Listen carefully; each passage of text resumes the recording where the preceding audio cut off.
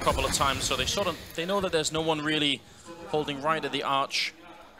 Is it going to be enough for any kind of a setup? They really want coldzera to peek. So far, he hasn't.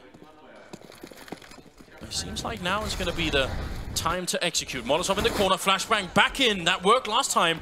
This time they run into Neo. He gets one. A second opening taking down fer. And Taco's in so much trouble. He's got a bit of backup behind him. Gets the kill on Snax. That's actually big. And there's a quick rotation coming in. Fallen. He's right.